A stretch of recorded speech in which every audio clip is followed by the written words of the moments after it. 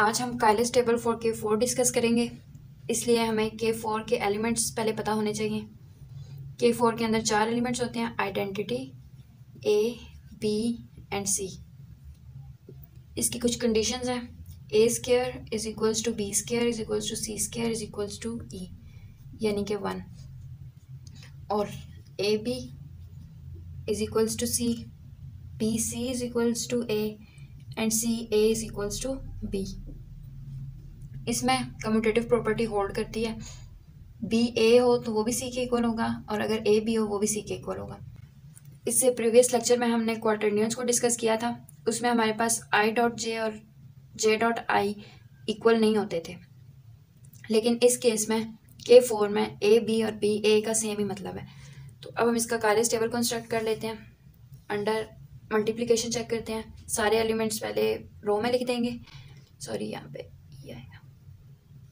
E A B C similarly E A B and C पहले हम identity को सारे एलिमेंट से मल्टीप्लाई कराएँगे तो ये एज इट इज़ आ जाएँगे। फिर ई e को ए से कराया तो A then B and then C similarly हम ए को ई e से कराते हैं तो ए आ जाएगा। Then A square A square किसके इक्वल है? ई e के। उसके बाद ए बी ए बी किसके इक्वल है? सी के। उसके बाद ए सी किसके इक्वल है? या सी ए बी के इक्वल है? तो डायरेक्ट मैं बी लिख रही हूँ। उसके बाद बी आ जाएगा। देन बी ए किसके इक्वल होता है?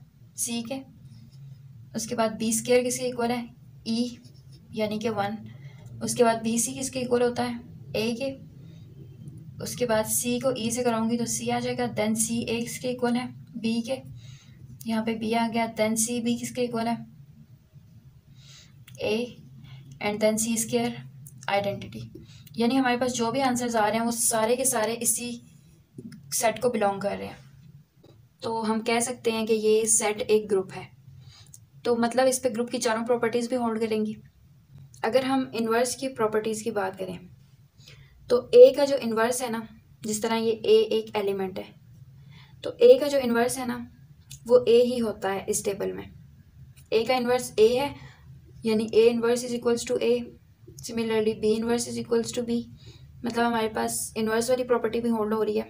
और ई e जो है ना, ये हमारे पास सेल्फ इन्वर्सिस के तौर पे यूज़ हो रहा है। यानी ए इंटू ए इन्वर्स करूँ तो ये मेरे पास ई e के इक्वल आ जाएगा। सिमिलरली मैं बी इंटू बी इन्वर्स करूँ तो ये भी आइडेंटिटी के इक्वल है। यानी बेसिस सेम पावर जेड तो वो वन के ही इक्वल होगा ना। ई e की पावर अगर ज़ीरो हो तो वो वन के इक्वल है, उसको हम आइडेंटिटी लिख सकते हैं। तो इस तरह मैंने ये चीज़ लिख दी। सिमिलरली हमारे पास इसके ऊपर ग्रुप की सारी प्रॉपर्टीज़ होल्ड कर रही हैं। अगर ग्रुप की कोई भी प्रॉपर्टी होल्ड ना कर रही हो ना उस सेट पे, हमारे पास कालिस टेबल में एक ऐसा इरेलीवेंट आंसर आ जाता है जो कि उस सेट से बिलोंग ही नहीं करता, जो उस सेट का हिस्सा ही नहीं होता।